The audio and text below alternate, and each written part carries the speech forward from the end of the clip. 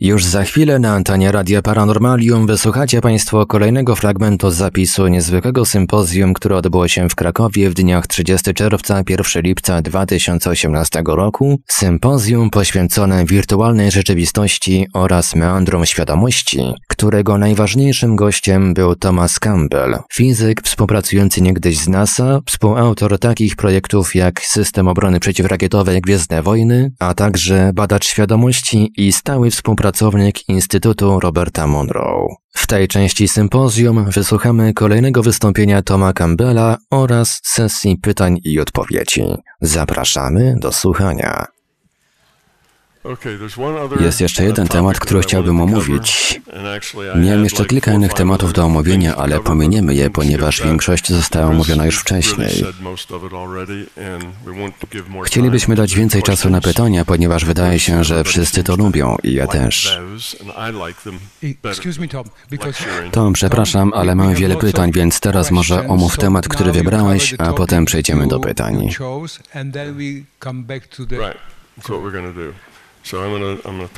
Omówię tę kwestię, ponieważ uważam, że dostarczy Wam ona rozrywki i da coś do zrobienia.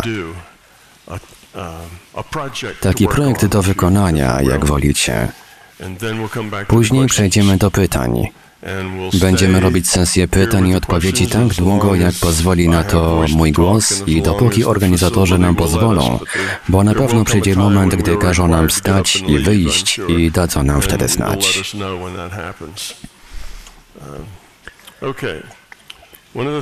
Chciałbym omówić metodę, czy też sposób dla Was, aby pomóc pozbyć się ego, co jest niezbędne do tego, aby pozbyć się lęku get rid of your ego, which will require you to get rid of your fear. Uh, jest to dość zabawne ćwiczenie i jest to coś, co możecie wykonywać przez kolejne sześć miesięcy albo i rok w ramach eksperymentu. Jest to związane z relacjami męsko-damskimi i oczywiście właśnie to powoduje, że daje to dużo frajdy. That's of course what makes it fun to do, right? Być może wiecie Państwo, że aktualnie jestem w trakcie pisania książki Primal Male, Primal Female. Jest ona poświęcona pojęciu płci oraz pozbywaniu się narzuconych kulturowo przekonań na temat płci, jak też temu, co tak naprawdę wiemy na temat płci. Pracuję nad tą książką od dziesięcioleci, jednak to, jak bardzo jestem zajęty, wciąż nie pozwala mi jej ukończyć i nie sądzę, aby mi się to udało w przewidywalnej przyszłości, gdy przestanę być zbytnio zajęty. Z tego omówienia jednak pochodzi to małe ćwiczenie, które stanie się dla Was sposobem na poprawienie Waszego związku.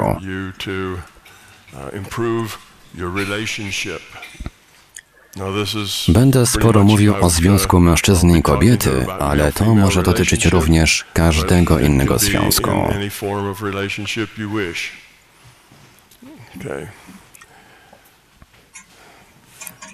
Związek jest wtedy, gdy opona styka się z drogą do rozwoju.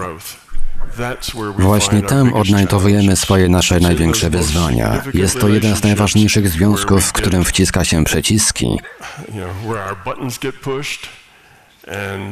w którym nasze wybory są trudne i w którym nasz lęk i ego wychodzą na pierwszy plan.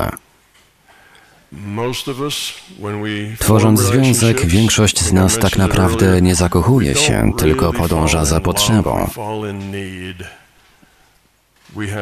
My mamy potrzeby, inni ludzie też, i gdy spotykamy kogoś, kto spełnia nasze potrzeby, a my spełniamy potrzeby tej osoby, to wówczas tworzy to połączenie. I to jest właśnie to, co robimy.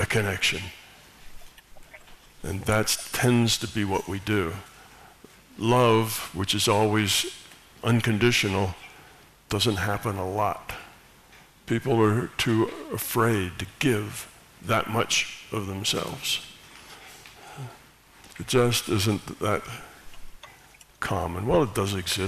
Miłość, która zawsze jest bezwarunkowa, nieczęsto się zdarza.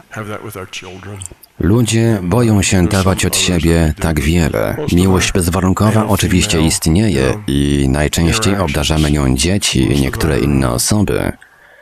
Ale większość naszych interakcji męsko-damskich, większość naszych interakcji mąż-żona, chłopak-dziewczyna nie cechuje się bezwarunkową miłością. W naszej kulturze jest to trudne do osiągnięcia, ponieważ tak bardzo boimy się dawać tak wiele, obawiamy się, że ktoś nas wykorzysta i tak dalej.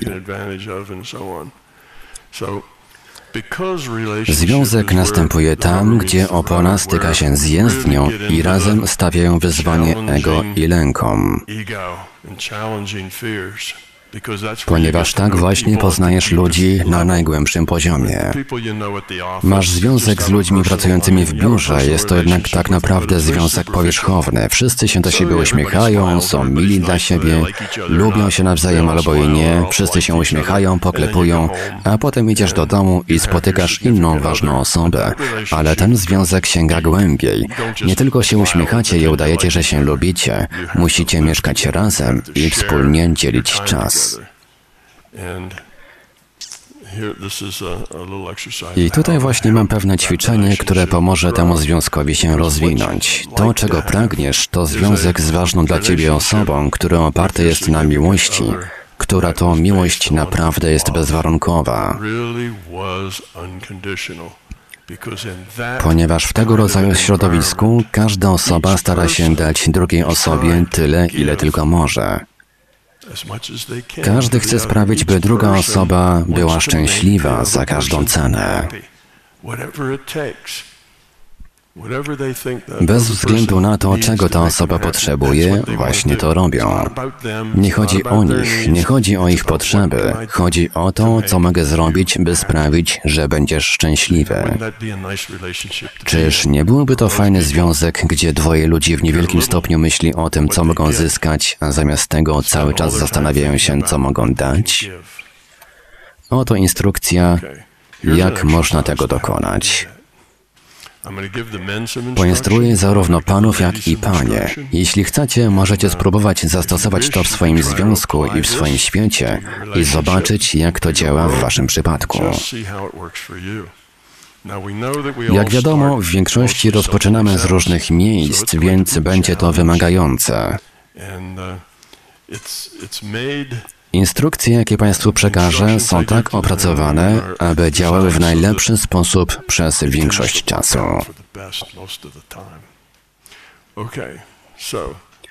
A więc, chłopaki, oto co mam Wam do powiedzenia.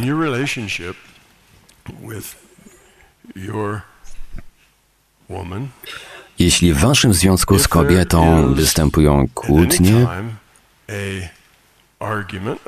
Różnice zdań, sytuacje, gdzie nie postrzegamy rzeczy w taki sam sposób. Oto jest odpowiedź. Ona ma zawsze rację.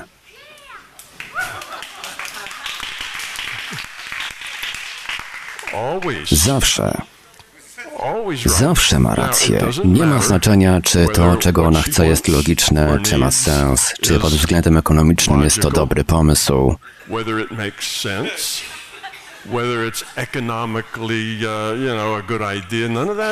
to nieistotne. Ważne jest tylko to, czego ona chce. Właśnie w taki sposób to postrzega i ma rację. A waszym zadaniem jest sprawić, by była szczęśliwa. To wasze jedyne zadanie. Obojętnie za jaką cenę, właśnie to musicie zrobić. Ale nie możecie po prostu zapytać, hej kotku, co cię uszczęśliwi?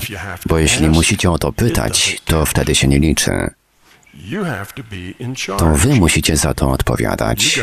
Sami musicie wziąć to na klatę i określić, co musicie zrobić, aby ją uszczęśliwić. I musicie to zrobić. Jeśli więc zdarzy się jakaś kłótnia, po prostu nie oponuj. Ona ma rację. Nie ma sensu się sprzeczać. Sprawa jest już rozstrzygnięta. No widzę, że panowie się wzięli i spocili.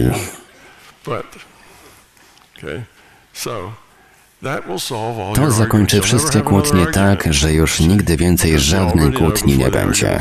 Bo zanim się zacznie, wy już wiecie, że ona ma rację, a wy nie. Problem rozwiązany.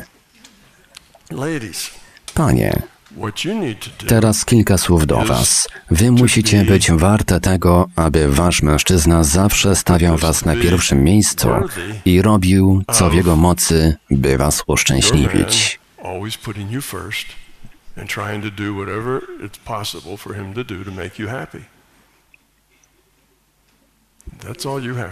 I tyle.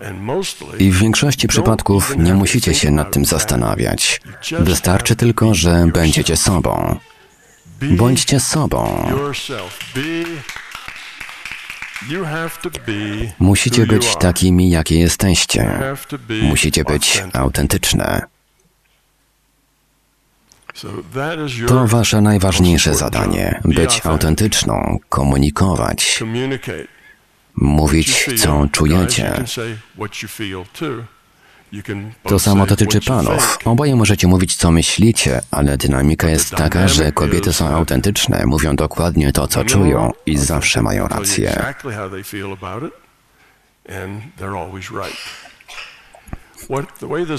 To działa w taki sposób, że nauczenie się tego zajmie jakiś czas, przede wszystkim dla mężczyzn ponieważ muszą oni przełknąć ogromną ilość męskiego ego, aby do tego dojść. Muszą pozbyć się swojego lęku przed nieuzyskaniem tego, czego oczekują, lęku przed byciem wykorzystanym i tak dalej, i po prostu dać.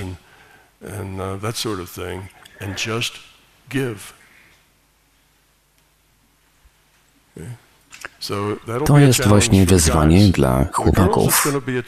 W przypadku dziewczyn wyzwanie będzie polegało na komunikowaniu, byciu sobą, byciu autentyczną i komunikowaniu, co to oznacza. Co czyni cię szczęśliwą, a co nie. Tak naprawdę ta idea jest prosta. Zacznijcie jednak z pozycji ogólnego porozumienia na zasadzie ja zrobię dla ciebie to, ty dla mnie zrobisz tamto, a jeśli w międzyczasie się pokłócimy, to to porozumienie będzie oparte na umowie, a nie na bezwarunkowej miłości.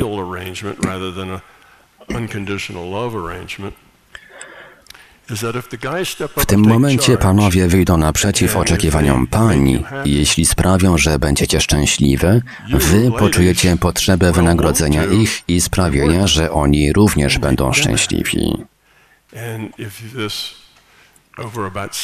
Na przestrzeni 6-7 miesięcy, a nawet roku, to tak naprawdę może zmienić wasz związek z tego, jaki jest obecnie, na taki oparty na bezwarunkowej miłości pochodzącej od was obojga. Ale to panowie muszą wyjść naprzeciw i podjąć się zadania uszczęśliwienia was.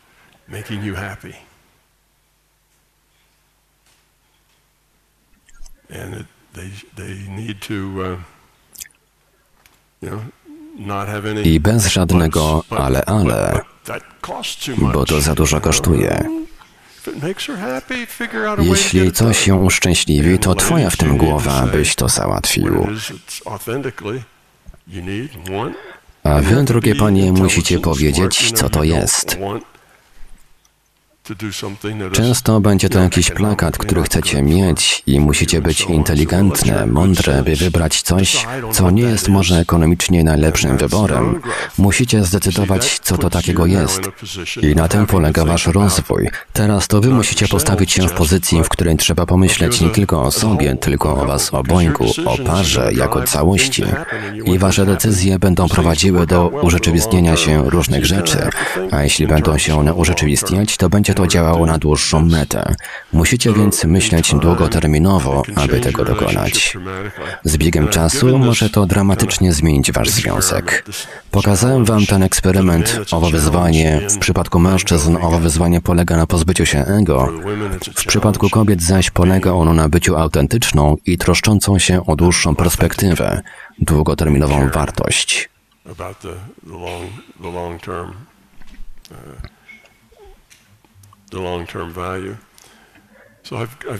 Przeprowadziłem ten eksperyment z ludźmi jakieś 4, 5, 6 razy i zawsze miałem co najmniej pięciu, którzy potraktowali to poważnie i robią to.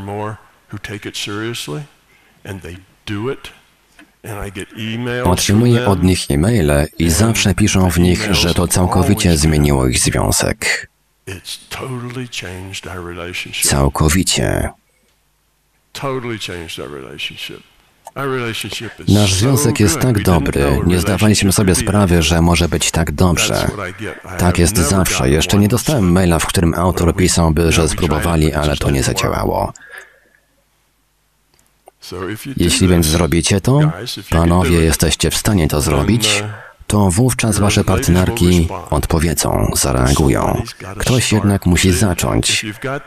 Jeśli macie podejście na zasadzie to jest umowa, ja zrobię to, jeśli ty zrobisz tamto, to wówczas każdy w większości skupia się na sobie. Co ja z tego będę miał? Czy dostanę to, czego chcę? Może daję od siebie zbyt wiele? Może dajesz wręcz za mało. Zwykle jednak chodzi o ciebie i zaspokajanie twoich potrzeb. I dopóki oboje próbujecie zaspokajać swoje potrzeby, żadne z was tego nie osiągnie. Poza przypadkowymi sytuacjami albo takimi, w którym dajecie coś i na przemian to zabieracie, taka negocjowana umowa, nie zaś dawanie.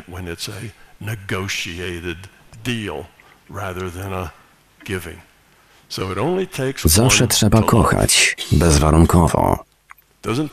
To nie jest tak, że będę Cię kochał, jeśli miłość to po prostu podarowany prezent, bez żadnych warunków.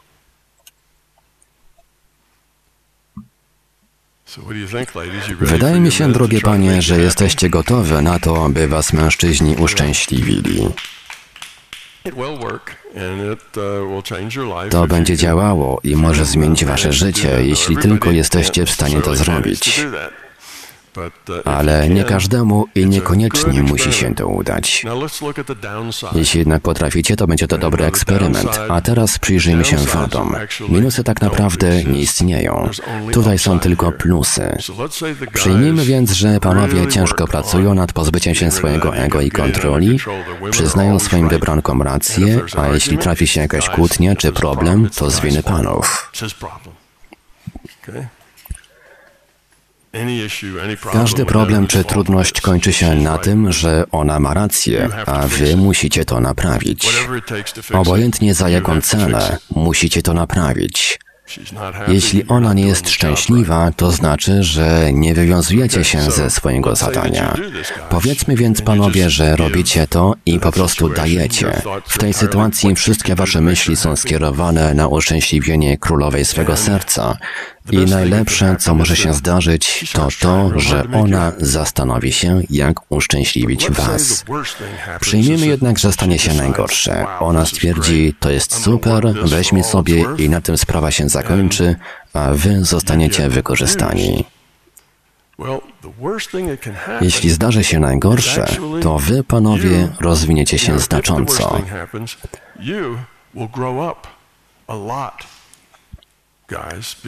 Bo gdy pozbędziecie się swojego ego i gdy naprawdę kochacie i troszczycie się o drugą osobę, rozwiniecie się niesamowicie.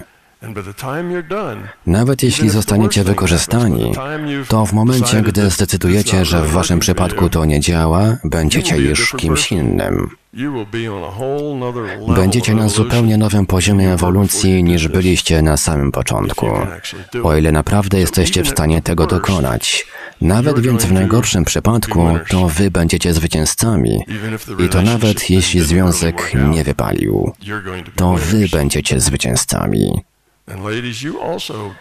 Panie, po waszej stronie również nie ma minusów. Najgorsze, co może się stać, to to, że on nie będzie w stanie tego zrobić, a wy nigdy nie poczujecie tego rodzaju reakcji, poczucia bezpieczeństwa, miłości. Poczucia, że to wy się pomyliłyście. Nie poczujecie, że on się o was troszczy, a wy możecie na niego liczyć. Jeśli tego nie poczujecie, to znajdziecie się w punkcie, w którym odkryjecie, kim jesteście. Będziecie autentyczne, pozbędziecie się egocentryzmu w swoim życiu.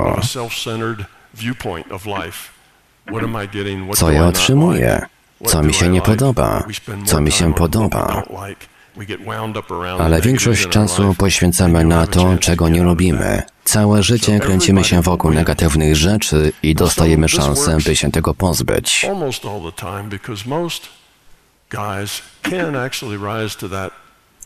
Każdy wygra. W większości przypadków to działa, ponieważ panowie przeważnie są w stanie wznieść się na ten poziom troski o kobietę i opiekowania się nią. Drogie panie, musicie pozwolić mu, aby się wami zaopiekował i musicie mu pozwolić, aby zrobił to na swój sposób. Zawsze jednak możecie powiedzieć, nie chcę tego, a ponieważ zawsze macie rację, on będzie musiał przestać. Musicie jednak pozwolić mu być takim, jaki jest. On musi pozwolić wam być sobą. I po prostu postarajcie się nad tym popracować. A zobaczycie, że wzniesie to wasz związek na zupełnie inne miejsce.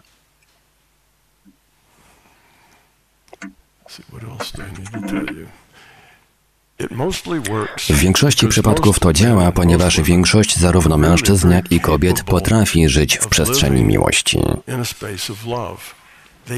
Potrafią to zrobić, jest to w zasięgu ich możliwości, nie wiedzą tylko, jak to zrobić. Istnieje lęk, że ktoś cię wykorzysta, że nie będzie się troszczył, nie sprosta twoim potrzebom i, i tak dalej. Mamy ten lęk przed byciem wykorzystanym, ponieważ poszukujemy numeru jeden i bardzo często to wydaje się nie działać.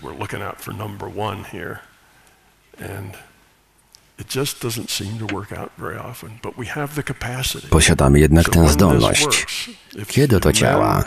Panowie potrafią to zrobić. uh, Jeśli jesteś w stanie zapewnić, że twoja partnerka zawsze będzie szczęśliwa,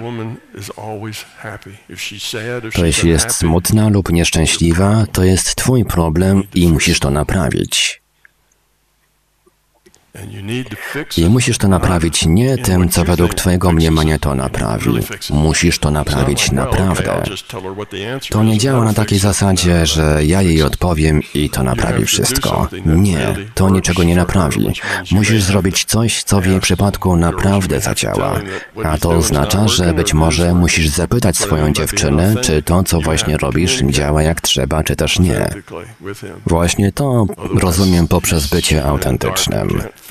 Drogie panie, musicie się komunikować. Autentycznie komunikować z nim. W przeciwnym razie będzie on błądził w ciemności i nie dowie się, co sprawia, że jesteście szczęśliwe. Ponieważ większość mężczyzn i kobiet jest w stanie dojrzeć do życia w tego rodzaju związku, to trochę zajmuje 6 miesięcy, nawet rok. Relacja między nimi ogólnie będzie zaczynała się zmieniać i stawać się czymś dużo lepszym i odmiennym. Zdarza się, że ktoś, czy to mężczyzna, czy kobieta, nie potrafi kochać. Są za bardzo skupieni na sobie, by być w stanie kochać.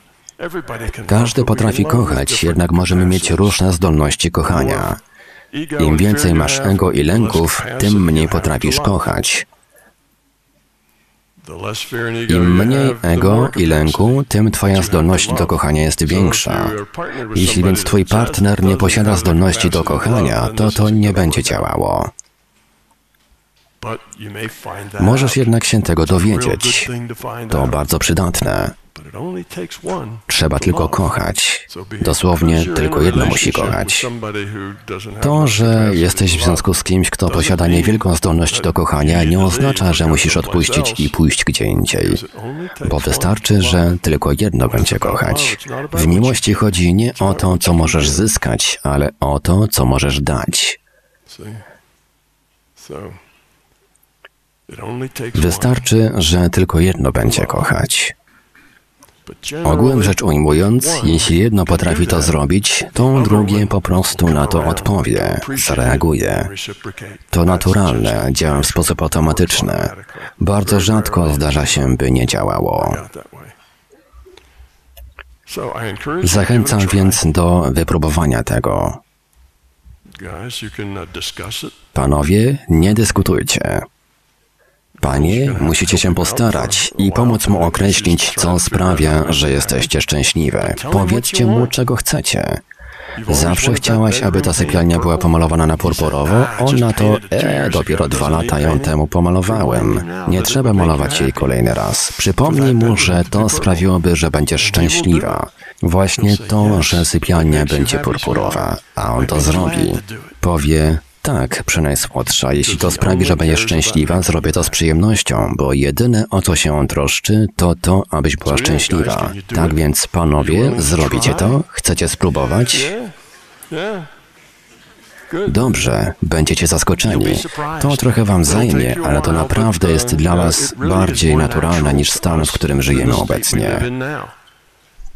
Gdy tylko zaczniemy, wszystko potoczy się dalej samo, ponieważ jest to dla nas naturalny stan do życia.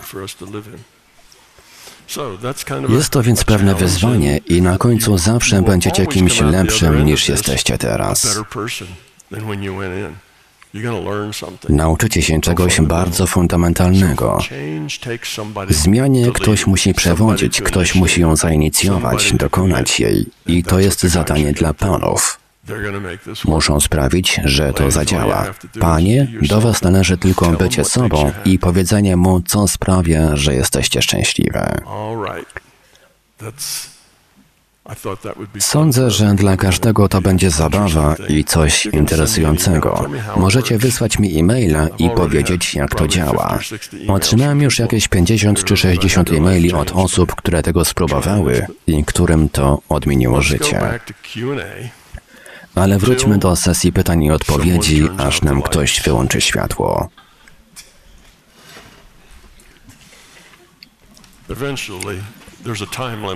Mamy pewien czas, przez który możemy wykorzystywać to miejsce i musimy skończyć, zanim wyłączą nam światło.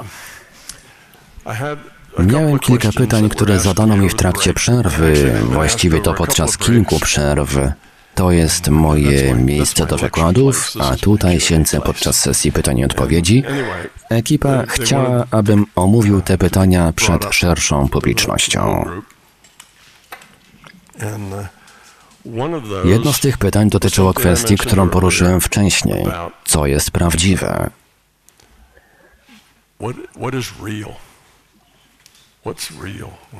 Gdy mówimy o czymś, że jest prawdziwe, to co przez to rozumiemy?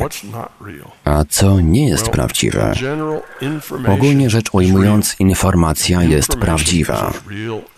Informacja jest tak prawdziwa, jak to tylko możliwe.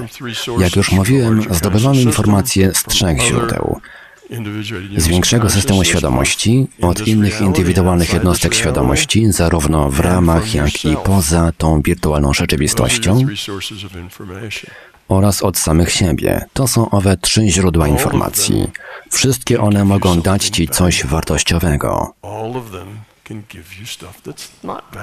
One również mogą dać Ci coś, co nie przedstawia żadnej wartości. To Ty musisz ocenić ich wartość. Nie próbuj oceniać ich prawdziwości. Każda informacja jest w równym stopniu prawdziwa.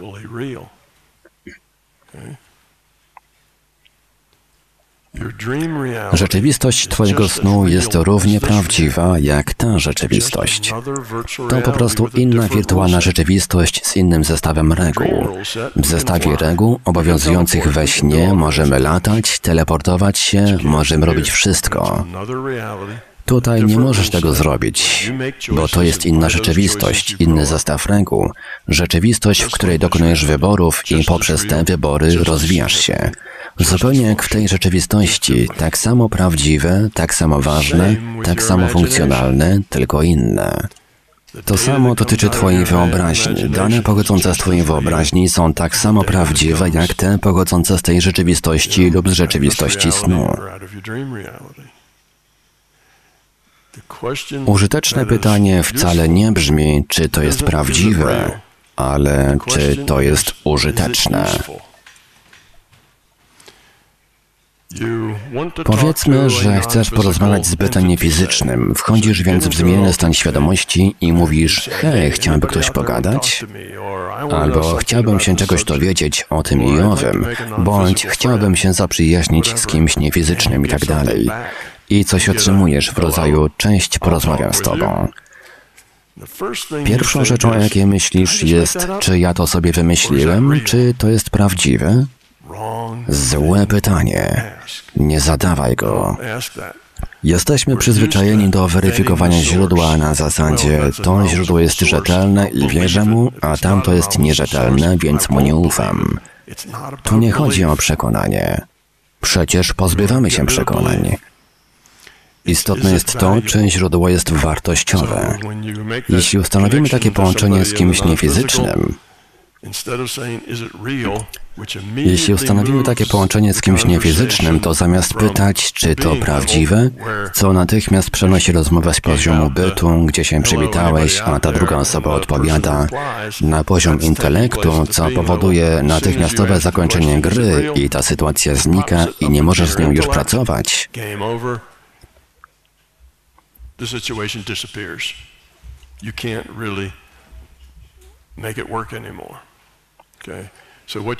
Po prostu kontynuuj konwersację. Pozbądź się tej idei, czy to jest prawdziwe. Przeprowadź rozmowę i następną, i następną na zasadzie hej, czy możemy kontynuować tę, tę rozmowę jutro? Jestem teraz zajęty, muszę coś zrobić, ale możemy pozostać w kontakcie. A twój rozmówca powie pewnie, po prostu o mnie pomyśl, a będę tutaj. Więc jeśli zrobisz to i po powiedzmy dziesiątej rozmowie z tą istotą musisz ocenić, czy to jest użyteczne, pomocne, czy czegoś się z tego uczysz. Jeśli odpowiedź brzmi tak, uczę się na tym, zdobywam informacje, to daje mi nowe spojrzenie na sprawy,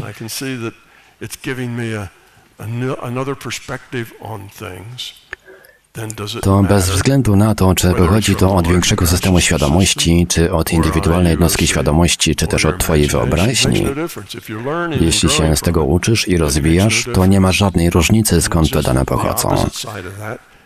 Z drugiej strony, jeśli niczego się z tego nie uczysz, a jeśli jest to zupełnie bezużyteczne, to bez względu na to, z jakiego źródła te dane pochodzą, jedyną naprawdę ważną kwestią jest to, czy te dane są użyteczne. Użyteczne w sensie, czy to pomaga mi się rozwinąć, czy rozwijam swoją uważność, poznaję większy obraz, czy rozwijam swoje zdolności poprzez medytację? Czy poznaję lepiej całą świadomość? Czy uczę się lepiej pracować z poziomu bytu? Takie właśnie pytania musisz sobie zadawać.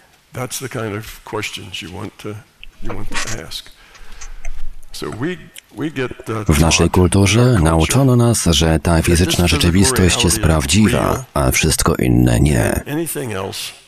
Wszystko inne jest iluzją, halucynacją. Sny stanowią tylko nasz wymysł, nie są prawdziwe. Tworzymy je, są prawdziwe. Czy możesz uczyć się swojej wyobraźni? Oczywiście, że możesz. Jeśli czeka cię stanięcie przed kilkuset ludźmi i trochę się wstydzisz, to jak się na to przygotowujesz? W swojej wyobraźni. Wygłosisz prelekcję 20 lub 30 razy w swojej wyobraźni przed wyobrażoną widownią. I gdy to powtórzysz wiele razy, nie będziesz już się obawiał, ponieważ owa prelekcja stanie się częścią ciebie. Po 20 razach będziesz pewien, że wiesz, że dobrze ci pójdzie. To jest użyteczne. A skoro jest użyteczne, to jest to wszystko, co musisz wiedzieć. Nie jest więc ważne, czy to jest prawdziwe.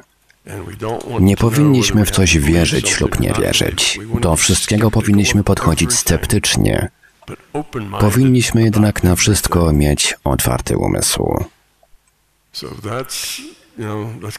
Jest to problem dla większości ludzi, gdy po raz pierwszy robią OB. Odwracają się i gdy po raz pierwszy widzą swoje ciało leżące w łóżku, pytają, czy to jest prawdziwe, czy to naprawdę ja, czy naprawdę to robię. I w tym momencie wsysa ich z powrotem do ciała i kończy się zabawa i nie potrafią już zrobić OB. To koniec. To dlatego, że zaczynają od poziomu bytu, potem przechodzą na poziom intelektu i to niszczy wszystko. Po prostu bądź tym. Angażuj się we wszystko. Gdy praktykujesz takie rzeczy, jedna z zasad mówi angażuj się we wszystko. Gdy chcesz wyjść z ciała albo zrobić coś innego, gdy siedzisz w stanie medytacji i w czasie medytacji widzisz małego różowego króliczka skaczącego tuż przed tobą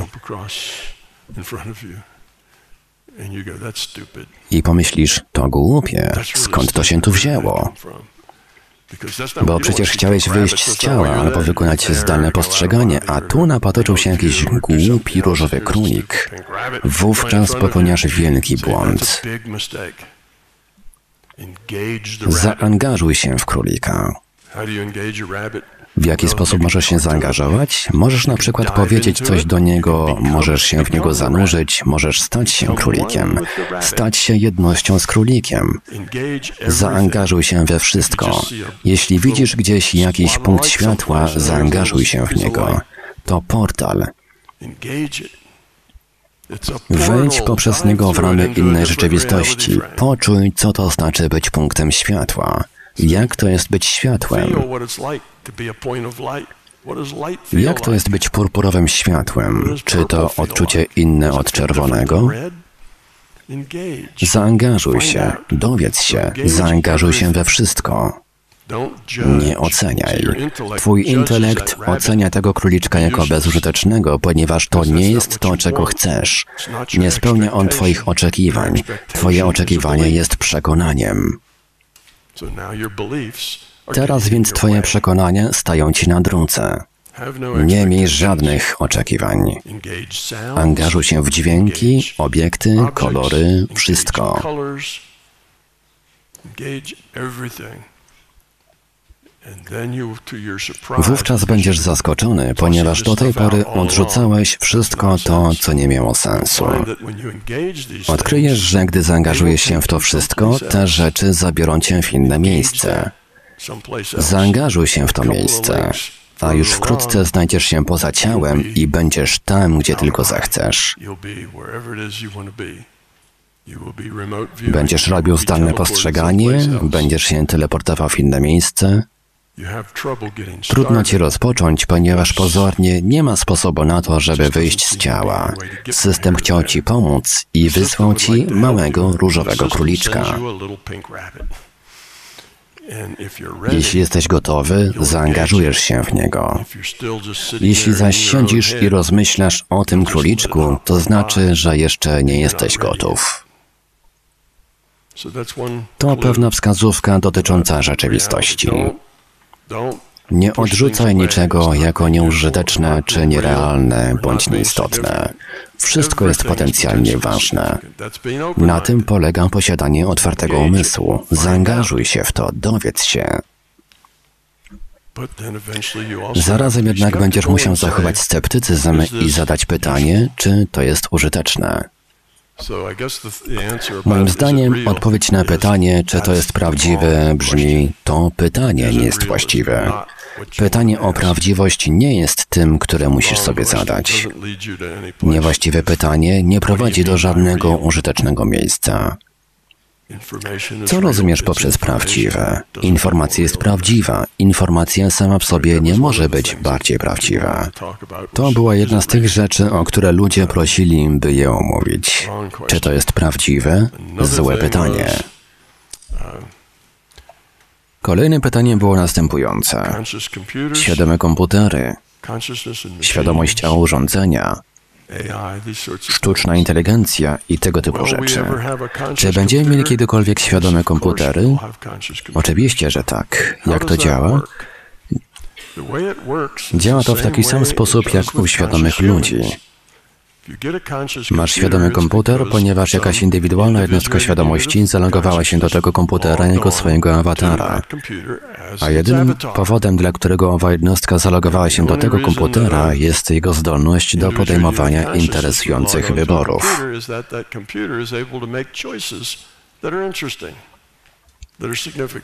To ważne.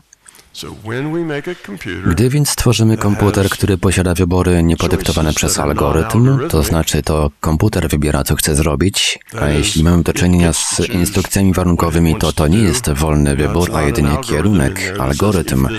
To jest deterministyczne. Gdy więc stworzymy taki komputer, to tak naprawdę to sam komputer będzie musiał dokonać wyboru. Możemy to zrobić z sieciami neuronowymi, w których komputer dokonuje wyborów w oparciu o to, czego się nauczy. Gdy komputery będą mogły dokonywać interesujących wyborów, jednostki świadomości będą logowały się do tych komputerów, by grać nimi jako awatarami. To po prostu inny rodzaj awatara. Pies jest innym rodzajem awatara, pszczoła również, człowiek również. I komputer również jest po prostu innym rodzajem awatara.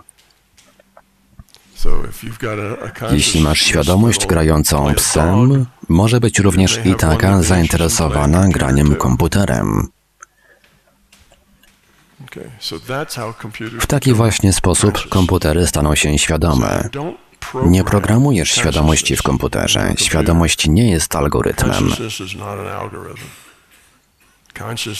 Świadomość posiada wolną wolę. Możesz zaprogramować w komputerze wolną wolę, jeśli jesteś wystarczająco bystry. Wówczas komputer może stać się świadomy. Jeśli w komputerze zalogowana jest świadomość, to jest on taki sam jak my. Nie ma między nami żadnej różnicy. To po prostu inny awatar.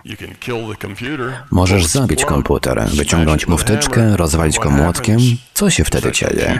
Czy komputer posiada duszę?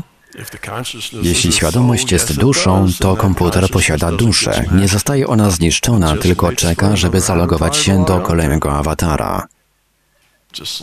Zupełnie jak ty. Gdy masz awatara i twoja osoba zostaje zniszczona, rozjechana powiedzmy przez ciężarówkę, wówczas logujesz się do następnego awatara. To działa w taki sam sposób. W taki właśnie sposób komputery staną się świadome. Jeśli chodzi o programowanie, to programy stanowią instrukcje. Jeśli wydajesz czemuś instrukcję, to jest to deterministyczne i niekoniecznie musi posiadać wolną wolę. Jeśli to tylko instrukcja warunkowa, to wolnej woli nie ma wcale.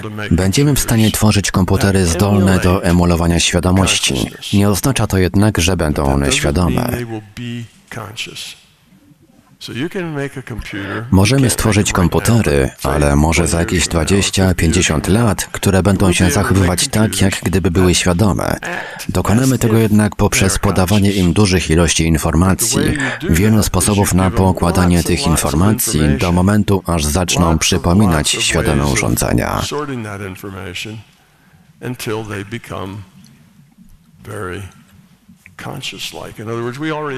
W pewnym sensie mamy już takie urządzenia, jak na przykład Deep Blue grające w szachy, wyprodukowane przez IBM. Gdybyś był szachistą i zagrałbyś takim Deep Blue, nie wiedząc jednak z kim grasz, ktoś inny przesunął pionki albo jakiś inny szachista. ogląda to na monitorze w innym pomieszczeniu, także nie wiesz tak naprawdę kim jest twój przeciwnik. Gdyby twoim przeciwnikiem był inny Deep Blue, nie powiedziałbyś, to nie człowiek, to komputer.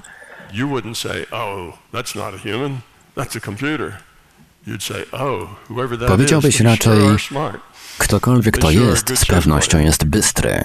To na pewno dobry gracz, ponieważ Deep Blue gra z najlepszymi. Jest tak dobry, jak najlepszy gracz. W takim przypadku nie możesz określić, czy to człowiek, czy nie, ale to przypadek bardzo szczególny. Powiedzmy, że mamy komputer, który poza graniem w szachy robi też wiele innych rzeczy. Posiada całą tę wiedzę, posiada czujniki, kamery zamiast oczu, mikrofony zamiast uszu, czujnik zapachu.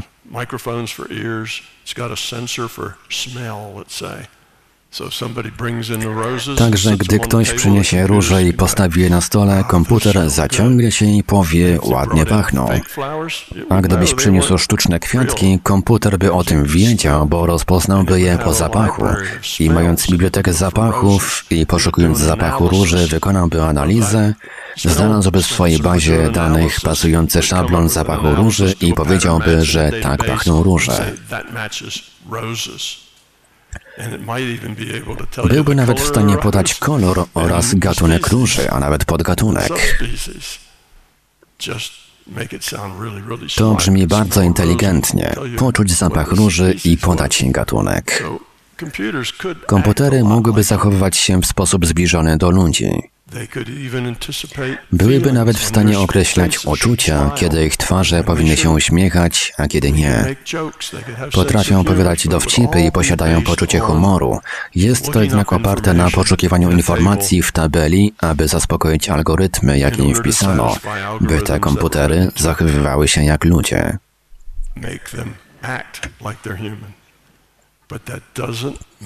To jednak nie sprawia, że są one świadome a jedynie powoduje, że zachowują się, jakby były świadome. Co one czują? Jakie są ich emocje? Mogą być zaprogramowane w taki sposób, aby odpowiednio reagować na określone sytuacje, na przykład płakać przy pomocy pompki z wodą podłączonej do oczu, gdy wykryją zdarzenie i przypiszą je do kategorii smutnych. Dzięki temu komputery będą wyglądały jak gdyby posiadały emocje, dopóki jednak wszystkim rządzą algorytmy, nie posiadają one uczuć. Mają jedynie bardzo dużą ilość informacji i bardzo szybki procesor, by sprawiać wrażenie ludzkich. Nie można zaprogramować świadomości. Można jednak sprawić, że komputer stanie się świadomy. Interesujący pomysł z tymi świadomymi komputerami. I już wkrótce takie komputery zobaczymy. Będzie można je zakwalifikować jako świadome. Mogą przypominać psy, koty, pszczoły. Zmieni się to jednak z czasem, gdy odpowiednie prędkości wzrosną. Zobaczymy również komputery emulujące świadomość, ale nie będące świadomymi.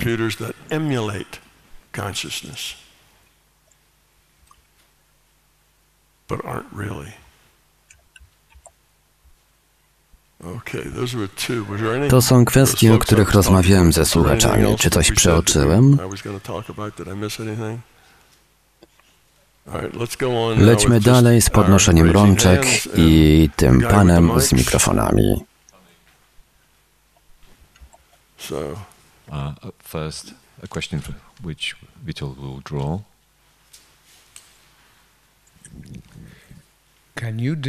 Czy możesz zdefiniować świadomość?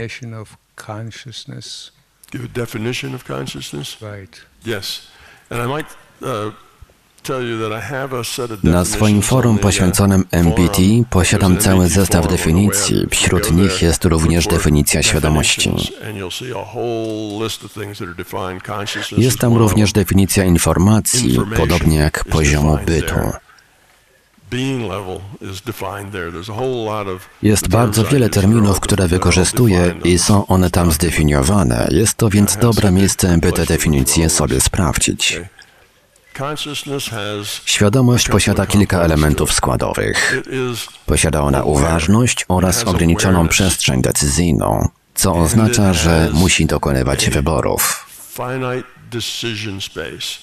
That means it has to make choices.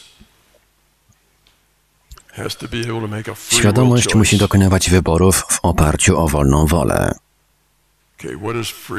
Czym jest wolna wola? Jest to zdolność do swobodnego wyboru spośród znanych sobie możliwych wyborów.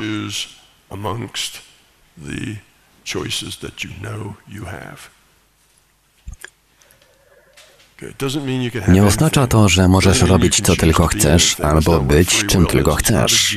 To nie jest dżin, który wyskakuje, gdy potrze się lampę. Po prostu, jeśli masz wybór zrobić A, B lub C, musisz którąś z tych opcji wybrać. Wyboru dokona Twoja wolna wola. Tym jest właśnie wolna wola. Może tu wejść komputer z elementami takimi jak sieci neuronowe, które nie są algorytmiczne i może on rozwinąć wybory. Tyle jeśli chodzi o wolną wolę. Świadomość musi posiadać ograniczoną przestrzeń decyzyjną, co oznacza, że musi posiadać wolną wolę, aby dokonać wyboru. Posiada również uważność. Zdaje sobie sprawę przynajmniej z istnienia samej siebie, jak również w pewnym stopniu swojego środowiska. I tyle. Świadomość można więc bardzo łatwo zdefiniować. Czy psy są świadome? Tak, ponieważ mogą dokonywać wyborów. Posiadają uważność, są świadome. Czy małże są świadome? Tutaj sprawa się komplikuje, ponieważ nie wiemy tak naprawdę, czy małż dokonuje wolnych wyborów, czy też działa w oparciu o algorytmy. Po prostu reaguje, dotyka swojego pożywienia i wciąga je. Nie wiadomo, czy jest to spowodowane wolną wolą na zasadzie o, ktoś mnie dotknął, więc ja go wciągnę czy też jest to zaprogramowana reakcja, innymi słowy instynkt. Jeśli chodzi o prostsze formy życia, to trudno powiedzieć, czy są one świadome, czy nie, ponieważ one wykonują czynności. Nie wiadomo jednak, czy nie są one zaprogramowane biologicznie, także muszą zachować się akurat tak i nie ma innej opcji. Jeśli to tylko reakcja na bodziec, to nie ma tutaj do czynienia z wyborem. Zachodzi tu determinizm i takie formy życia nie są świadome. Czy skały są świadome? Nie, ponieważ nie posiadają one przestrzeni decyzyjnej. Skała nie pomyśli sobie, o, dzisiaj wturlam się po wzgórzu pod górkę, bo turlanie się z górki już mi się znudziło. Nie mogą tego zrobić. Nie posiadają przestrzeni decyzyjnej, więc nie są świadome. Co z drzewami? To kolejny przypadek, co do którego nie jesteśmy do końca pewni. Drzewa dokonują pewnych niesamowitych rzeczy, komunikując się ze swoim środowiskiem pomiędzy sobą. Wraz z kolejnymi badaniami coraz większą wiedzą odkrywamy, że drzewa dużo się między sobą komunikują. Drzewa na przykład wychodzą z pomocą przedstawicielom swojego gatunku, którzy mają problem z przetrwaniem. Nie wiemy jednak, czy działa to tylko instynktownie na zasadzie akcja-reakcja, czy może rzeczywiście jest to świadomy wybór.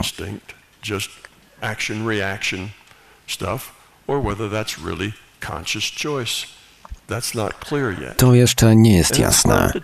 I tak naprawdę bardzo trudno to stwierdzić. Biolodzy muszą być bardzo bystrzy, aby opracować testy mające określić, czy to rzeczywiście wolna wola, czy biologicznie zaprogramowane reakcje. Drzewa, przynajmniej niektóre z nich, wydają się jednak posiadać uważność. Bycie uważnym to jednak nie wszystko. Musisz być uważny i posiadać ograniczoną przestrzeń decyzyjną, aby nazywać siebie świadomym. Drzewo może zdawać sobie sprawę z istnienia swojego środowiska, ale jakakolwiek reakcja na to środowisko może być zaledwie algorytmiczna, zaprogramowana przez jego biologię. Słonecznik śledzi słońce. Słońce przechodzi, a słonecznik podąża za nim. Nie dlatego, że słonecznik myśli, że chciałby to zrobić, ale dlatego, że światło ociepla część łodygi, pozostawiając resztę w cieniu, a różnica temperatur między obiema stronami sprawia, że roślina się obraca i podąża za słońcem. Wynika to więc z algorytmu, a nie ze świadomej decyzji.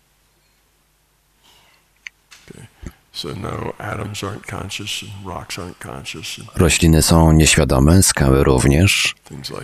Rzeczy mogą jednak posiadać znaczenie. Things can have meaning. Możesz wykorzystywać je jako narzędzia.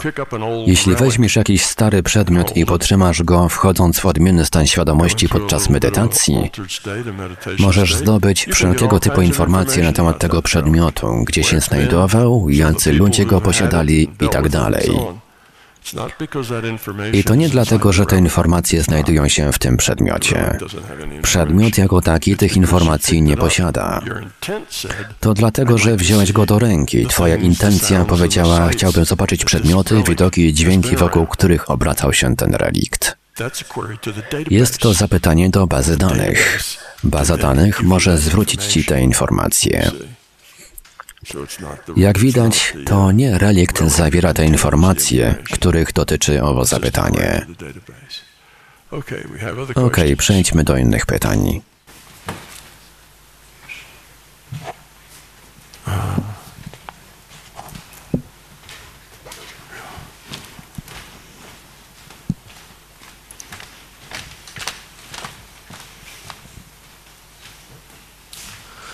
Mam takie pytanie. E, w momencie, kiedy jesteśmy, powiedzmy, wylogowani z tego awatara e, na Ziemi, nasza świadomość później, no gdzieś w międzyczasie coś się z nią dzieje, czy wtedy też świadomość ma możliwość swobodnego wyboru, czym się dalej stanie? Czy się stanie człowiekiem, czy słoniem na przykład, czy inną postacią w innym świecie?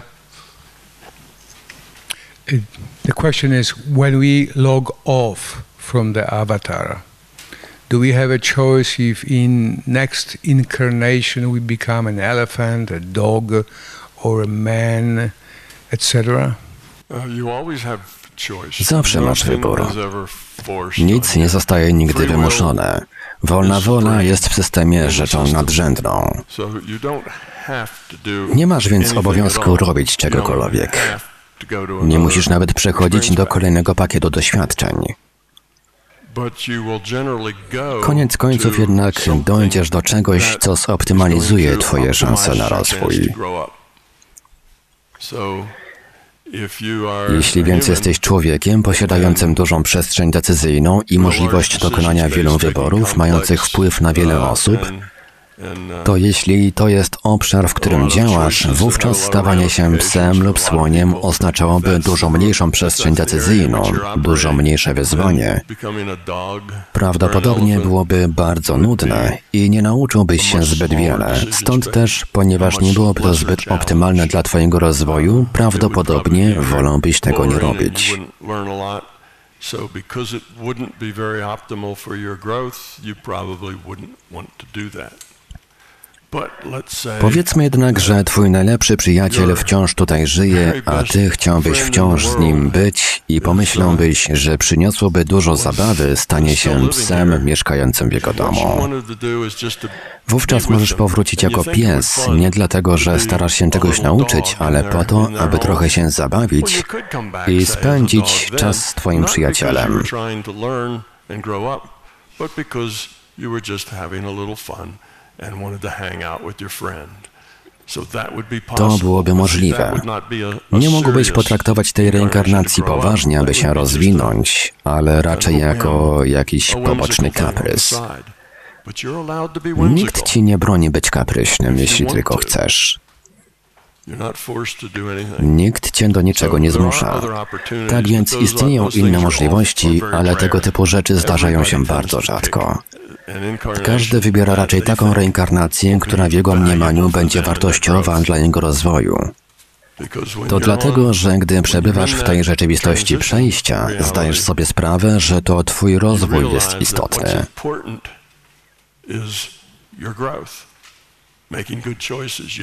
Wiesz, że ważne jest dokonywanie dobrych wyborów. Nie chcesz więc marnować czasu na robienie czegoś, co jest nieoptymalne. Wit Witold, jeden od ciebie teraz.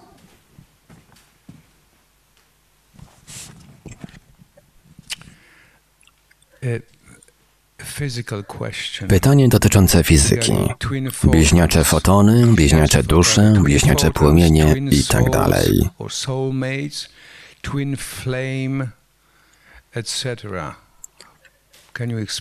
Czy możesz wypowiedzieć się na ten temat? Wspomniane idee dotyczące bliźniaczych dusz i tak dalej głoszą, że ty i druga osoba jesteście dla siebie stworzeni i pasujecie do siebie tak idealnie, że nazywają was bliźniaczymi duszami, płomieniami i tak dalej.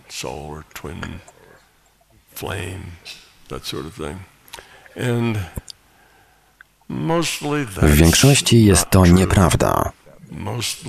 W większości przypadków tworzycie związki z ludźmi, którzy znajdują się wokół Was w czasie, w którym chcecie utworzyć owe związki. Niekiedy trafiacie na ludzi, którzy bardzo dobrze do Was pasują i z którymi żyje się Wam świetnie. Kiedy indziej spotykacie takich, których po prostu nie lubicie, nawet niekoniecznie wiedząc dlaczego. Podobnie z ludźmi, których bardzo lubicie, również nie wiadomo z jakiego powodu. Wiele zależy od tego, co wybierzecie w sposób niefizyczny. Świadomości są za sobą połączone w sieć. Zwolennicy nowej ery nazywają to wibracjami. Możesz mieć dobre lub złe wibracje, a to tylko komunikacja telepatyczna, która zachodzi między nami przez cały czas. Jest możliwe, aby dwoje ludzi umówiło się na spotkanie, będąc w swoich awatarach. Tak się zdarza.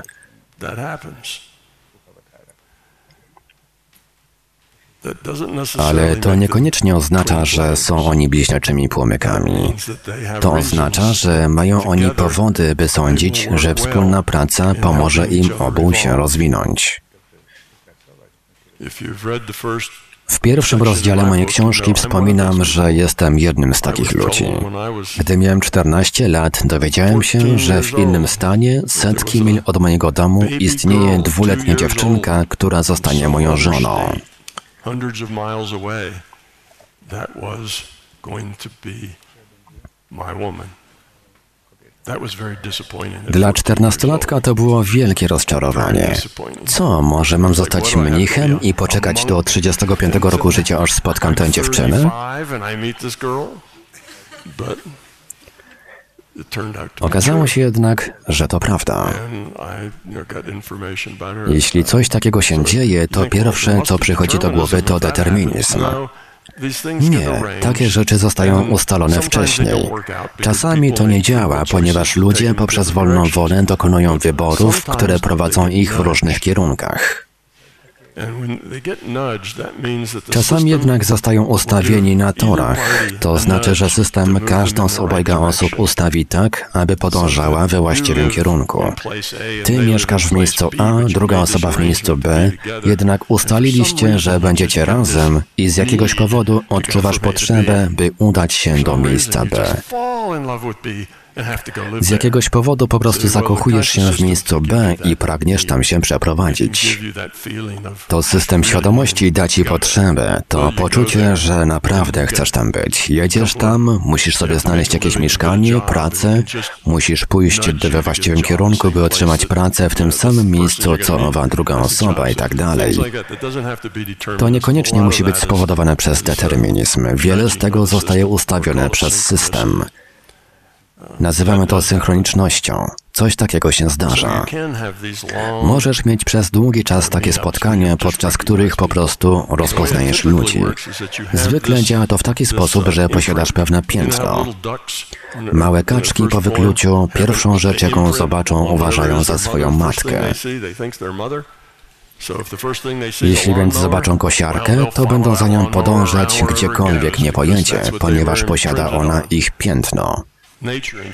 Natura zdecydowała, że pierwsze co zobaczą to ich matka, więc podążają za tym piętnem. W takich przypadkach przychodzisz z piętnem, a gdy spotkasz tę drugą osobę, ono rezonuje. Podobnie jak mała kaczuszka reaguje na swoją matkę. Wiesz wówczas, że istnieje połączenie. Tak się czasami zdarza. Mówimy jednak o rzeczach marginalnych.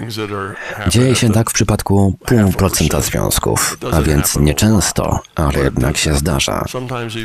Czasami nawet i czworo ludzi będzie działać razem w czasie jednej inkarnacji. Dzieje się to jednak bardzo rzadko, ponieważ jest to bardzo trudne, z tego powodu, że ci ludzie nie będą nakierowani. Gdy system powie im, aby przenieśli się w miejsce B, oni zaprotestują i odpowiedzą, że podoba im się tam, gdzie są obecnie. Tutaj mieszka moja matka i tutaj pozostanę. System powie, naprawdę musisz wyjść na swoje i przenieść się w miejsce B. a ty odmawiasz, masz wolną wolę. Dlatego połączenie nigdy nie powstanie, ponieważ nie jesteś we właściwym miejscu we właściwym czasie. Jest to więc bardzo trudne do wykonania, ponieważ nakierowanie nie zawsze działa. Inna sprawa to to, że samo wykonanie tego nastręcza dużo trudności. Jest to związane nie tyle ze spotkaniem się dwóch osób, co z wykonaniem roli, którą wydawało ci się, że wykonujesz. Performing the role that you thought you would perform. Ostatecznie jednak stajecie się bardzo wartościowi dla wzajemnego rozwoju, ponieważ stajecie się innymi ludźmi. Gdy wybierasz tego nowego awatara, nową biologię, wszystkie te nowe doświadczenia, niekoniecznie staniesz się tym, kim myślałeś, że jesteś. I to po prostu nie działa. To właśnie dlatego takie połączenie zdarza się bardzo rzadko, ale czasami się zdarza. So mostly that's not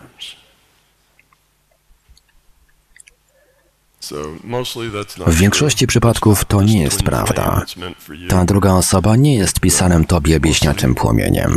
Najczęściej po prostu posiadasz z kimś bardzo silne połączenie i naprawdę bardzo dobrze dajecie sobie radę. Rezonujecie ze sobą nawzajem, ale to tylko dlatego, że po prostu tak się właśnie dzieje. Prawdopodobnie macie bardzo dobrą komunikację na linii świadomość-świadomość. Najczęściej jest to więc kwestia szczęścia. Um, you spoke yesterday briefly about uh, the difficulty Wczoraj of mówiłeś nieco o trudnościach w określeniu pochodzenia systemu z perspektywy obserwatora znajdującego się wewnątrz tego systemu. Czy mógłbyś podzielić się swoimi poglądami w kwestii pochodzenia świadomości? Być może większy system świadomości stanowi część większego kontekstu, większego obrazu, może też wchodzi w interakcję z bytami zewnętrznymi. Ogólnie rzecz ujmując, chodzi mi o pochodzenie większego systemu świadomości i o to, czy poza nim istnieje coś jeszcze. Z pewnością poza większym systemem świadomości istnieje coś jeszcze. Nie wiemy, co to jest, ponieważ nie możemy się z niego wydostać. To dlatego, że jest to rzeczywisty system. Systemy muszą być skończone, nie mogą być nieskończone. Każdy rzeczywisty system, który jest skończony, posiada pewne granice. Skoro istnieją granice, to poza nimi musi być coś jeszcze. Więc tak, poza systemem istnieje coś jeszcze. W swoich książkach zaznaczyłem, jak wiele jest przypuszczeń i jak niewiele faktów. Omówiłem naszego homozaurusa, którym jest większy system świadomości. Omówiłem to, w jaki sposób większy system świadomości może być jedynie jedną z komórek w większym bycie składającym się z komórek takich jak większy system świadomości.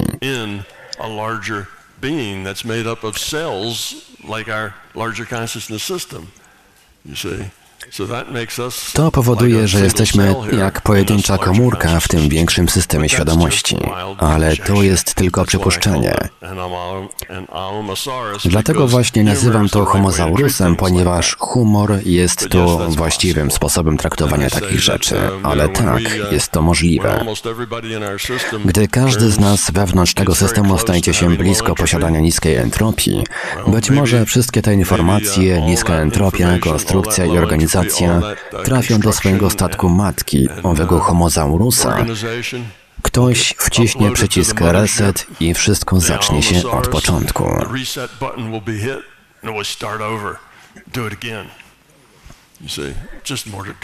Jak widać, jeszcze jedno przypuszczenie, jeszcze jedna głupkowata rzecz, jaką można wymyślić. Tak, istnieje granica. Nie, nie wiemy, co jest poza nią. Możemy jednak stworzyć dużo rzeczy, które mogą się przydać do dobrej książki albo filmu science fiction. Nie ma jednak w tym niczego rzeczywistego, w tym znaczeniu, że nie mamy pojęcia, o czym mówimy. Z drugiej strony, to co ja staram się zrobić, to cofnięcie większego systemu świadomości, aby dotrzeć do możliwie najwcześniejszego stadium jego rozwoju, ponieważ nie mogę dojść do momentu, w którym jeszcze go nie było. To wykracza poza obszar mojej wiedzy. Mogę jednak dojść do najwcześniejszego etapu jego rozwoju, podobnie jak biolodzy potrafią dotrzeć do komórkowego etapu rozwoju zwierząt i roślin. I mają komórki specjalizujące się w jakiejś funkcji, komórki, które się namnażają i tak dalej. Można powiedzieć, że wszystko, co się rozwija, zaczęło się od pojedynczej komórki. Komórki różnorodne, specjalizujące się w różnych rzeczach, ponieważ nasze środowisko jest różnorodne i posiada wiele nisz, do których komórki się dostosowują.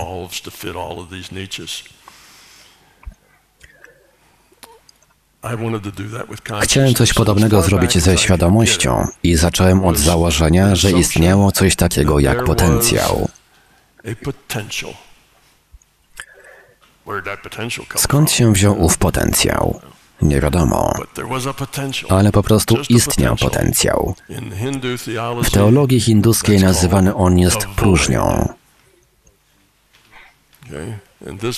Ów potencjał posiadał potencjał, aby stać się czymś. W nauce matematycznej schodząca złożoność mówi, że jeśli masz potencjał posiadający możliwość, aby stać się czymś, to ostatecznie rzeczywiście tak się stanie. To dlatego, że ów potencjał się zmienia. W sposób przypadkowy wchodzi on w interakcję z samym sobą i w pewnym momencie może stworzyć coś na tyle stabilnego, że to coś będzie w stanie przetrwać.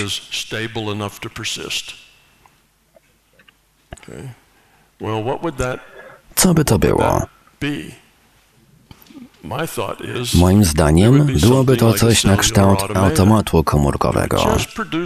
Potencjał stworzyłby coś o bardzo prostym zestawie reguł. Być może jedna albo dwie zasady. Potencjał mógłby wytworzyć wiele takich elementów. Skoro raz ci się udało, możesz zrobić to jeszcze raz. To, co zrobiono raz, może być zrobione ponownie. Ostatecznie może powstać coś podobnego do automatu komórkowego, zestaw reguł, który może wpływać na inne rzeczy. Reguła może być bardzo niewielka, składać się z trzech słów.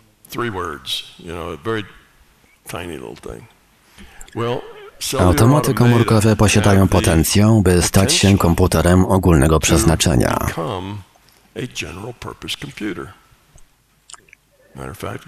Według Edwarda Fredkina, jeden z jego współpracowników stworzył automaty komórkowe zdolne do takiego działania. Są w stanie operować logiką i robić inne rzeczy, które da się obliczyć. Jeśli zaczniesz od automatów komórkowych, to wiele z nich, podobnie jak fraktale, rozwinie się w dowolny sposób. Będą rosnąć i rosnąć, dodawać nowe elementy i tak dalej. Tak właśnie działają komórkowe automaty. Możesz nadać im skromny zestaw reguł, a one będą wchodziły w interakcję między sobą zgodnie z owymi regułami i nie przestaną. Posiadają dużo potencjalności, a wraz z ich rozwojem rośnie również owa potencjalność, więc to nigdy się nie kończy. Czytając o automatach komórkowych, dowiesz się właśnie tego. Jeśli przejdziesz do Wydziału Filozofii Uniwersytetu Stanforda i poszukasz informacji o automatach komórkowych, znajdziesz omówienie związku między komórkowymi automatami a wschodzącą złożonością, które łączą się w świadomość.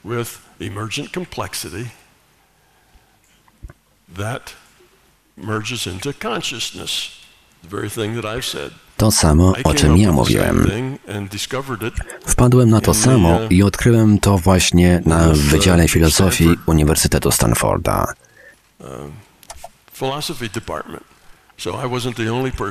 Nie byłem więc jedynym, który myślał w taki sposób, ponieważ to po prostu ma sens.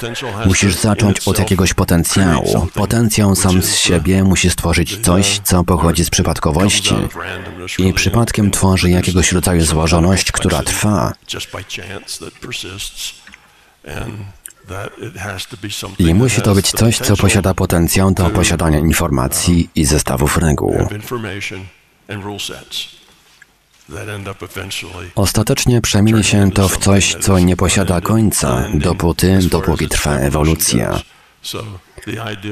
Idee wschodzącej złożoności oraz automatów komórkowych w sposób naturalny do siebie pasują jako przypuszczenie, jak to wszystko się zaczęło.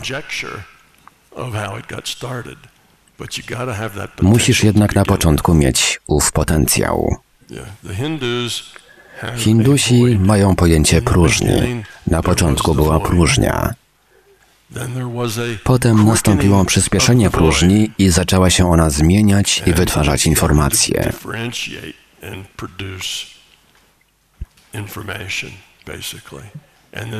Informacje zostały połączone w sieć.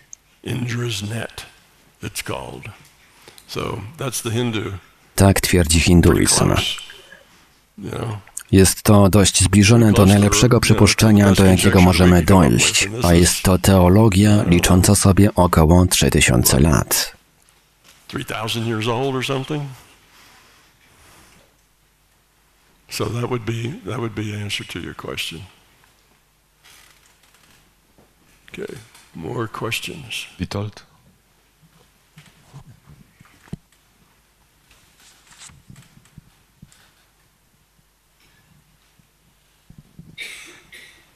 It, the question about the unlimited Pytanie dotyczące prędkości light tachyonu, czyli cząsteczki mającej poruszać się z nieograniczoną prędkością szybciej od światła. Czy mógłbyś się wypowiedzieć na ten temat? Co to jest? I tak dalej? And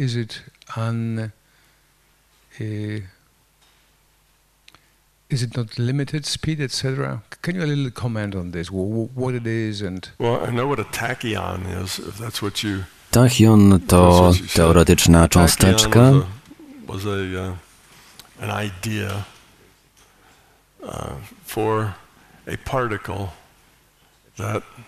która mogłaby się poruszać do tyłu w czasie. Istnienie takiej cząsteczki zostało wywiedzione z równań, prawdopodobnie równań relatywistycznych. Co do tego jednak nie jestem pewien. but it allowed Pozwoliło to na to, aby masa była wyimaginowana. W równaniach fizycy przez cały czas modelują rzeczywistość i robią to używając złożonych obliczeń matematycznych. Złożone obliczenia matematyczne oznaczają, że minus 1 podniesione do kwadratu daje złożone liczby. Fizycy używają obliczeń matematycznych i to, co im się podoba, zostawiają, a to, czego nie lubią, odrzucają. Jeśli modelują rzeczywistość używając złożonej algebry i część tej rzeczywistości jest prawdziwa, a część wyobrażona, to mówiąc o świecie rzeczywistym całkowicie ignorują część wyimaginowaną, twierdząc, że to nie reprezentuje niczego w świecie rzeczywistym. Następnie wykorzystują w jakimś celu tę prawdziwą część, robią to cały czas. Fizycy w swojej pracy modelują rzeczy w sposób matematyczny. Ktoś powiedział, a może nie odrzucajmy tej wyimaginowanej części. Co się stanie, jeśli dopuścimy masę wyimaginowaną, dokąd do nas zawiedzie? Zaprowadziło ich to do tachionów, które mają właściwość przemieszczania się w czasie do tyłu. Gdy masz ujemną masę, to wszystkie równania, które zwykle były dodatnie, mają ujemne wyniki. Co koniec końców prowadzi do tego, że rzeczy przemieszczają się w czasie do tyłu z prędkością światła. Taki właśnie jest tachion. To, co powiedziałem, zostało opublikowane jakieś 40 czy 50 lat temu i narobiło trochę szumu. Tak naprawdę nigdy do niczego nie zaszło i jako pomysł zostało właściwie porzucone. Stwierdzono, że to nie jest do końca dobry pomysł i niewiele wyjaśnia, nie niesie ze sobą zbyt dużej wartości. W fizyce ta idea została obecnie właściwie porzucona.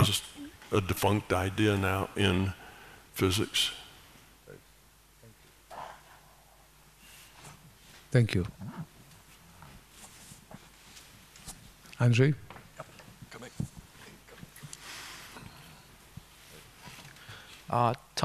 Tom, chciałbym się dowiedzieć, czy nasza baza decyzji, tu chodzi prawdopodobnie raczej o przestrzeń decyzyjną, jest ograniczona przez zestaw reguł w naszej wirtualnej rzeczywistości? Czy też jesteśmy ograniczeni również podczas połączenia z większym systemem świadomości? Innymi słowy, czy łączymy się z tym strumieniem danych tylko po to, aby ograniczyć sobie bazę decyzji i tym samym stworzyć więcej okazji do rozwoju?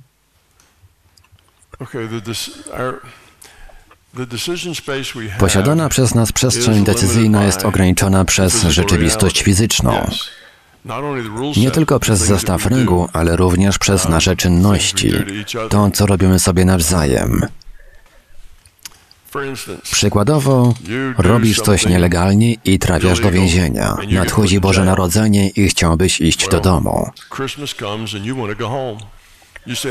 Mówisz, że chciałbyś wyjść na przepustkę na święta, ale słyszysz, nie, nie, nie, jesteś w więzieniu, więc przepustki do domu nie dostaniesz. Wyjście do domu na święta zostaje więc usunięte z Twojej przestrzeni decyzyjnej, a dzieje się to przez Twoją czynność, prawo i więzienie. Twoja przestrzeń decyzyjna zależy więc w dużym stopniu od tego, co się tutaj wydarzyło. Nie tylko od zestawu reguł, ale również od tego, w jaki sposób nasze interakcje wpływają na naszą przestrzeń decyzyjną. Nasza przestrzeń decyzyjna rośnie lub zmniejsza się w oparciu o nasze interakcje i to, w jaki sposób się rozwijamy.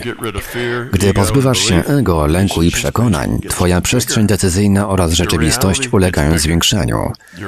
Twoja rzeczywistość stanowi w pewnym sensie funkcję Twojej przestrzeni decyzyjnej. Masz więcej wyborów. Mając więcej wyborów, żyjesz w większym świecie.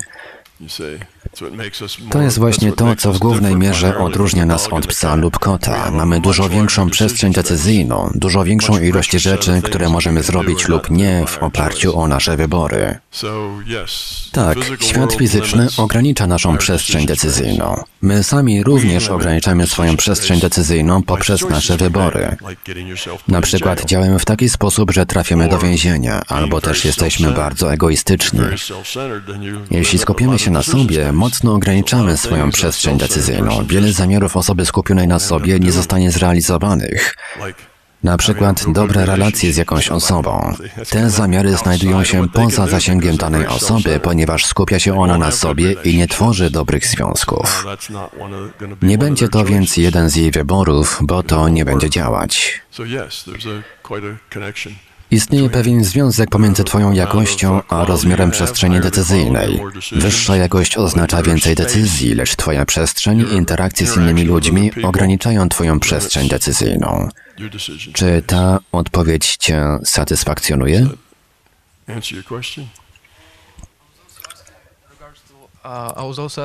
Pytałem również o większy system świadomości. Czy będąc w tym systemie również jesteśmy ograniczeni, czy też może owo ograniczenie jest na nas nałożone tylko wewnątrz wirtualnej rzeczywistości? W tej rzeczywistości posiadamy ograniczoną przestrzeń decyzyjną, jednak poza tą rzeczywistością również obowiązują ograniczenia. Wynikają one tylko z naszej jakości. Osoby o bardzo niskiej jakości będą miały bardzo niewielką przestrzeń decyzyjną. Jeśli pomyślimy o niskiej jakości świadomości, to dotrzemy do bardzo niewielkiej przestrzeni decyzyjnej. I zwykle dzieje się tak w umyśle osoby cierpiącej na silną depresję.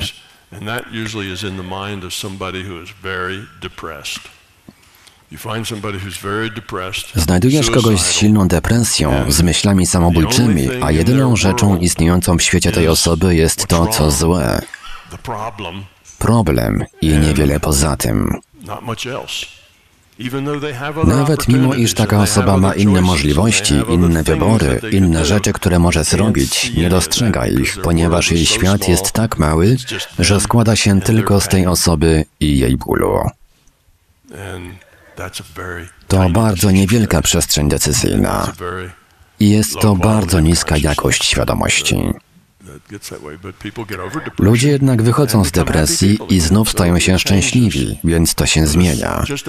Podobnie jednak jak świadomość, niefizyczna świadomość, tak też Twoja przestrzeń decyzyjna ograniczona jest przez Twoją jakość świadomości.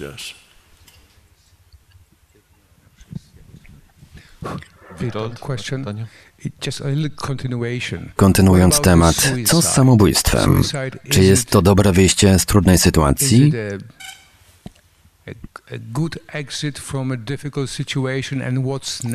Co następuje potem?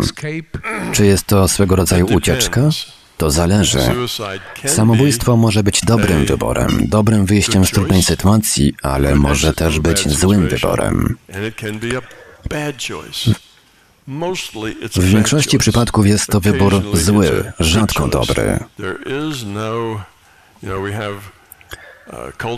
Mamy kulturowe i religijne podejścia do samobójstwa, które przedstawiają to jako coś złego, czyn, za który zostaniemy ukarani. To nie jest tak. Samobójstwo to tylko wybór, a to, co czyni go dobrym wyborem, to sytuacja, w której nasz potencjał do rozwoju zmalał do zera. Is if you are in a situation where your potential for growth has gone to zero. Well, you're here to grow. Gdy twój potencjał do rozwoju spada do zera, wówczas możesz równie dobrze rozpocząć nową inkarnację. Co się z tobą dzieje, jeśli twój potencjał spadnie do zera? Być może twój mózg przestał funkcjonować. brain dead? Well, I guess W takim przypadku sam raczej nie popełnisz samobójstwa. Ktoś inny zrobi to za ciebie, wyciągając wtyczkę z kontaktu. Być może cierpisz z powodu śmiertelnego bólu i nie możesz sobie z nim poradzić. A jedynym rozwiązaniem dla ciebie jest ciągłe zażywanie leków i nawet one nie działają. Jakość twojego życia dramatycznie spada, a ty wyciągnąłeś z tej sytuacji jakieś lekcje i masz podejście na zasadzie okej, rozumiem to, stawiam temu czoła, akceptuję to, w porządku, jestem gotowy, by odejść. Jedyne co robię to marnotrawienie środków, z których mogłaby skorzystać moja rodzina. Wówczas mogłoby to być dobre miejsce do tego, aby odejść. A co byłoby złym wyborem?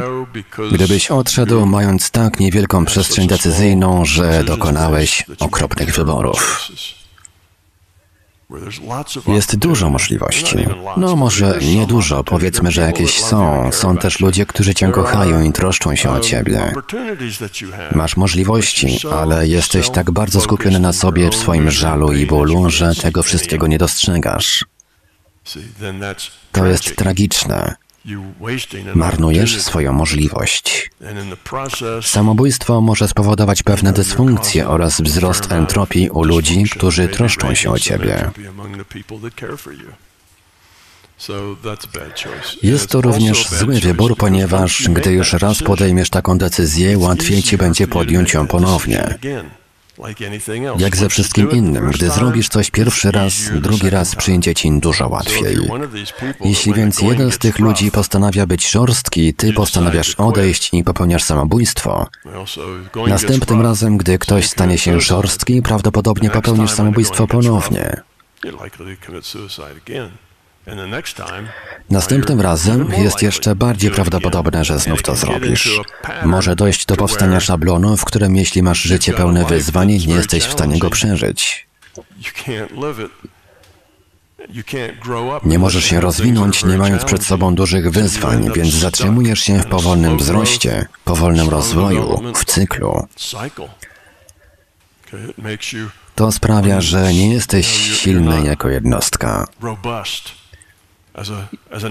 Jesteś słabą jednostką, która nie jest w stanie poradzić sobie z trudnymi sprawami. To nie jest odpowiednie miejsce, aby odchodzić. Jest to coś, co sprawia, że wyjście z dziury zajmie ci dużo czasu. Jest to wada samobójstwa i jest to tragiczne, gdy ludzie skupiają się na sobie w sposób tak wąski, że nie są w stanie dostrzec możliwości, jakie mają, ponieważ są tak bardzo skupieni na swoim smutku, bólu i tak dalej. W każdym razie samobójstwo jest bardzo złym pomysłem i jest tak przypuszczalnie w 90% przypadków. Obecnie niektóre kraje lub stany w USA zezwalają na eutanazję dla ludzi, którzy chcą umrzeć.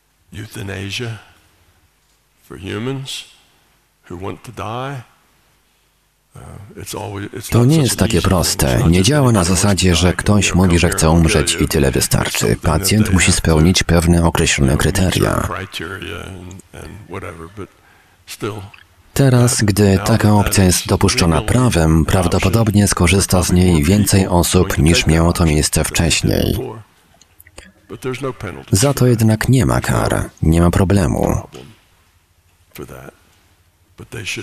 Pacjenci chcący poddać się eutanazji powinni jednak przygotować na to swoich bliskich, ponieważ nagłe zaskakiwanie ich taką właśnie decyzją nie jest dobrym pomysłem.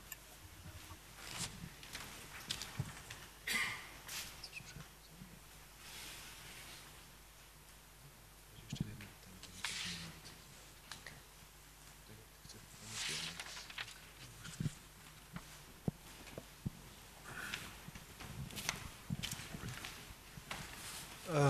I want, I want to ask you, could Tom, we chciałbym zapytać, czy możemy wybrać moment, w którym umrzemy? Jeśli nie, to kto dokonuje tego wyboru? Kto decyduje o tym, kiedy odejdziemy? Moment śmierci zwykle po prostu następuje. Zgodnie z zestawem reguł dzieje się tak, gdy twoje ciało przestaje działać, bo na przykład jest za stare albo zostałeś rozjechany przez ciężarówkę. Jest to więc coś przypadkowego. To może być przypadkowe zdarzenie. Z jakiegoś nieznanego powodu zapadasz na przypadkową chorobę, jest w tym duży współczynnik nieznanego. Jeśli jednak mówimy o sytuacji, w której twoje ciało jest po prostu za stare i przestaje działać, możesz wejść do bazy danych przyszłych możliwości i zobaczyć swoją śmierć. Możesz zobaczyć, z kim jesteś, sytuację, gdzie mieszkasz. Możesz się temu wszystkiemu przyjrzeć, stać się świadkiem własnej śmierci. Ale to wszystko to tylko prawdopodobna śmierć. Jeśli ma ona nastąpić za 20, 30 czy 50 lat, to prawdopodobieństwo właśnie takiego zdarzenia jest dość mgliste. Może się tak zdarzyć, ale nie musi. To, że właśnie w takim miejscu i w takiej sytuacji umrzesz właśnie w taki sposób. To zależy jednak od tego, jak bardzo jesteś aktywny. Powiedzmy, że jesteś człowiekiem, który nigdy nie wychodzi z domu. Nigdzie nie wychodzisz, nawet do galerii handlowej ktoś przynosi ci jedzenie, a ty siedzisz w domu. Wtedy patrzysz w przyszłość i stwierdzasz, och, widziałem, że umrę w domu. No cóż, prawdopodobnie masz rację. To może nie mieć żadnego znaczenia. Jeśli masz takie życzenie, to owszem, możesz zobaczyć własną śmierć, ale to nie od ciebie zależy wybór, jak umrzesz. To po prostu się dzieje wtedy, kiedy się dzieje. Jeśli jednak chcesz umrzeć, choćby dlatego, że jesteś stary i życie stało się tak uciążliwe, że nie jesteś w stanie funkcjonować, nazywa się to brakiem prawidłowego rozwoju z angielskiego failure to thrive. Jest to stan, w którym ludzie decydują, że nie chcą już tutaj być, wobec czego przestają jeść, przestają robić cokolwiek innego i zwykle w ciągu kilku tygodni lub miesięcy umierają. Często tak się dzieje w przypadku par, gdy jedna z osób umiera, a dwa tygodnie później umiera druga. Brak prawidłowego rozwoju. Nie jesteś już zainteresowany tym, aby żyć. Ludzie, którzy czują się jak zapędzeni wróg, czują, że przegapili możliwości, nie widzą możliwości wyjścia z sytuacji i ogólnie mający takie podejście ściągną na siebie śmiertelną chorobę, ponieważ wkładasz mnóstwo energii w ucieczkę.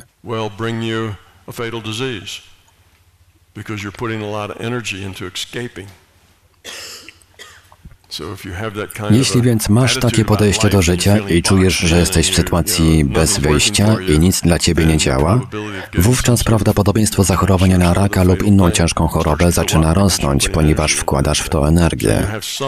Masz więc pewien wpływ na to, kiedy umrzesz. Ogólnie jednak to się dzieje wtedy, kiedy się po prostu dzieje.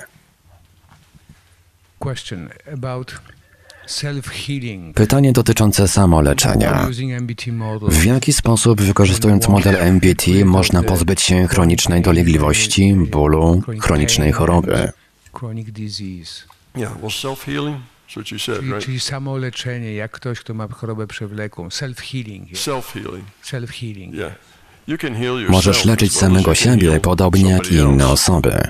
No Nie ma problemu, jeśli chodzi o leczenie samego siebie. Istnieje jeden element, który stanowi utrudnienie. Twoje leczenie jest najbardziej skuteczne z poziomu bytu, bez włączania w to intelektu, ego. No intellect involved. No um, ego involved. Jeśli chodzi o pracę nad samym sobą, trudno być oddzielonym i nie mieć żadnego zainteresowania efektem leczenia. Jeśli jesteś oddzielony od procesu leczenia, to jesteś całkowicie skupiony i wszystko jest w porządku. Jeśli nie jesteś oddzielony i próbujesz wyleczyć swoich rodziców, dziecko, to wówczas angażujesz się emocjonalnie, twoje ego jest z tym połączone i wówczas twój wynik nie będzie już tak efektywny. Ten sam problem mają lekarze. Jeśli jesteś kardiochirurgiem, nie operujesz własnej rodziny. Jeśli twoja rodzina ma problem, musi wejść inny kardiochirurg, ponieważ ty nie jesteś już oddzielony. Nie będąc oddzielonym, nie możesz szybko podejmować właściwej decyzji. Lekarze nie operują własnych rodzin, tylko proszą o to innego lekarza. Muszą być chłodni, spokojni i pozbierani, co oznacza, że muszą być oddzieleni od wyniku. A gdy sprawa dotyczy Twojej rodziny, jest to trudne do zrobienia. Tak samo ma się sprawa z uzdrawianiem. Jeśli jesteś oddzielony, to nie ma różnicy pomiędzy uzdrawianiem samego siebie, a uzdrawianiem kogoś obcego. Jeśli nie jesteś w stanie się oddzielić, to będziesz miał więcej problemów z samym sobą niż z innymi ludźmi.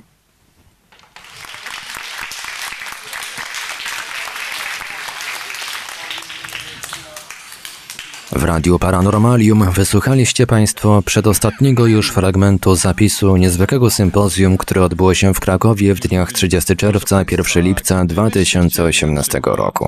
Sympozjum poświęcone w całości wirtualnej rzeczywistości oraz meandrom świadomości, którego najważniejszym gościem był fizyk Thomas Campbell. I właśnie z Tomem Campbellem usłyszymy się jeszcze raz za tydzień w ostatniej serii nagrań z tego sympozjum. Radio Paranormalium, paranormalny głos w Twoim domu. Dziękujemy za uwagę i do usłyszenia.